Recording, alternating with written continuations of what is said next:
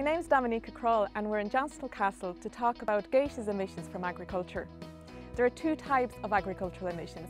Greenhouse gases like methane and nitrous oxide, and these are responsible for climate change, and air pollutants like ammonia that have negative impacts on human and animal health while also uh, damaging ecosystems. I'm going to concentrate on ammonia emissions. Ammonia is a gaseous form of nitrogen. Uh, where it's lost in agriculture is from uh, manure storage and land spreading, chemical fertiliser applications and grazing animals. In Ireland, agriculture is responsible for 99% of ammonia emissions.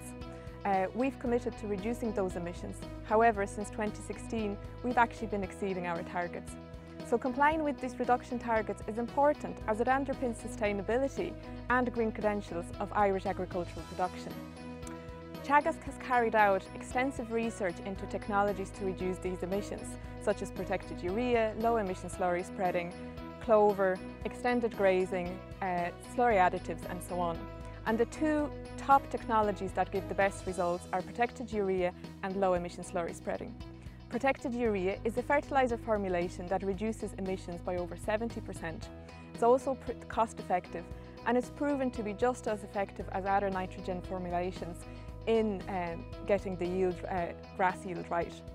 Low emission slurry spreading such as trailing shoe has been proven to cut ammonia losses by half while also improving nutrient use efficiency of the slurry.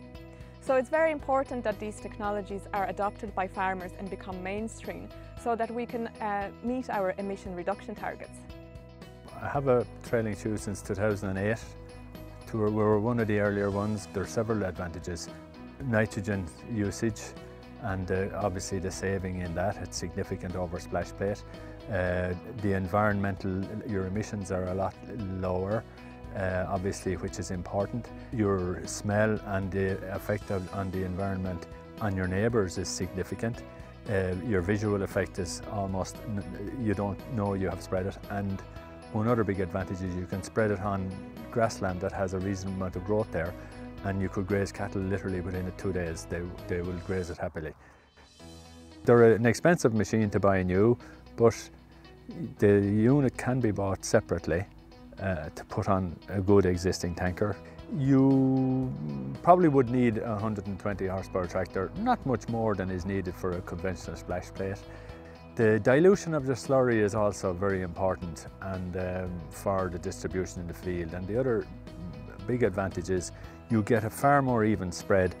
The benefit of using a trailing shoe in early April as against a splash plate after cutting silage is worth a significant amount of money in, in fertiliser usage. And I think in today's efforts to reduce carbon emissions on uh, farms, using splash plates really is an out-of-date method of spreading slurry, I think, at this stage.